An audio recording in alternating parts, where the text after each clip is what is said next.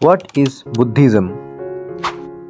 Buddhism comes from the word Buddha, which means the enlightened one, the knower. It is one of the largest religions in the world. Originated in India 2500 years ago, Lord Buddha was actually the prince of Kapilavastu. Upon seeing the suffering of human life, he renounced his throne and embraced the life of sage. Buddha taught about four noble truths.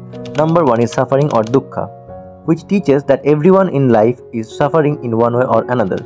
Number two is origin of suffering. It teaches that desire is the origin of all sufferings. Number three is nirodha or cessation. It says that it is possible to stop suffering and achieve enlightenment. And number four is the path to end suffering. It is about the middle way, which is the steps to achieve enlightenment.